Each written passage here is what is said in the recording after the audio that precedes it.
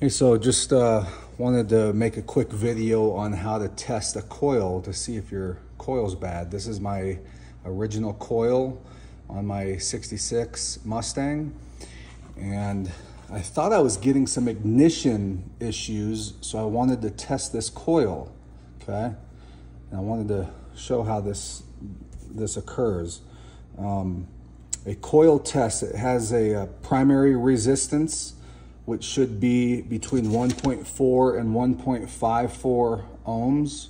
And then the coil secondary resistance should be 7,600 to 8,800 ohms. So here's how you do the, the primary resistance test, okay?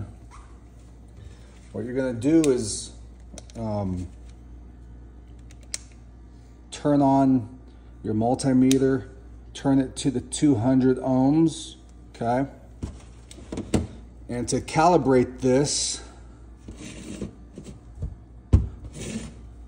you're gonna touch these two leads together and see how it doesn't go all the way down to zeros. Well, you're gonna have to subtract that 0.4, okay? So we're gonna subtract point, 0.4 from our primary resistance here. So Let's do that test right now. All right.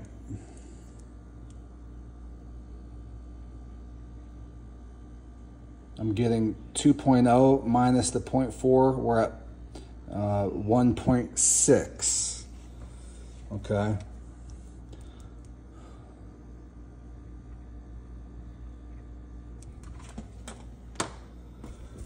So 1.6 ohms for the primary resistance test, okay?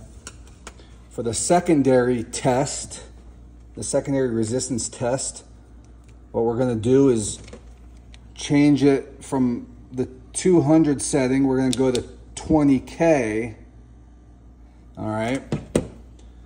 And we're gonna touch one of these terminals down into the top here. See my reading? 8.6, oh, that's 8,600 ohms. Okay, so we're at 8,600 ohms and that falls within the secondary resistance window. So we're good there. Okay, might be a little high on the primary. Um, now that's, that's when it was cold. What you can do is actually take a blow dryer and heat up your coil to about 150 degrees to simulate that it's on the engine.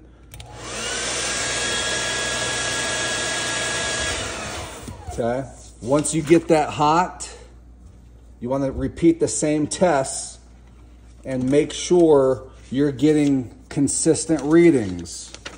Okay, for the primary I was getting about the 1.6 ohms, secondary 8600 ohms. All right.